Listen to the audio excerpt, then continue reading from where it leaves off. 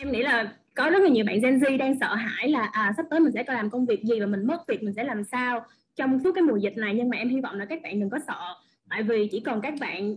cố gắng học mà tất cả mọi kỹ năng đó đều có ở trên mạng hoặc là có ở trong công việc của các bạn hết rồi. Chỉ cần mình học và mình cố gắng trau dồi bản thân mỗi ngày thì không thể nào mà mình mất việc và không thể nào mình không sống được trong cả đời này hết trơn á.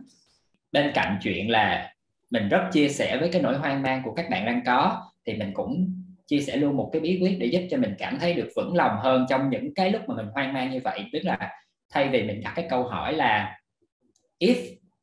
rủi nếu thì mình thay cái câu hỏi đó thành là when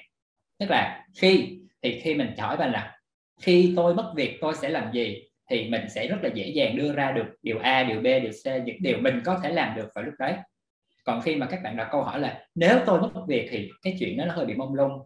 thì chính nhờ cái chuyện là mình nghĩ ra là ok khi mà tôi mất việc tôi sẽ có kế hoạch A, B, C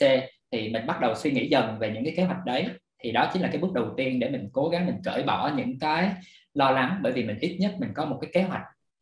À, tiếp tục evo tiến hóa lên thôi và đừng có ngại và cũng đừng có chụp mũ là à Gen X thì sẽ không bao giờ học. Và thì mình nói hộ mẹ của thì mình luôn bởi vì mình không bao giờ ngại cái chuyện học bởi vì mẹ thì mình là người đến bốn mấy năm mươi tuổi vẫn học một cái ngôn ngữ hoàn toàn mới. Khi mình nhìn thấy một cái người như thế rồi ấy, thì mình luôn thấy cái chuyện học nó là một cái, có một cái vẻ đẹp và mình không bao giờ mình ngại hết.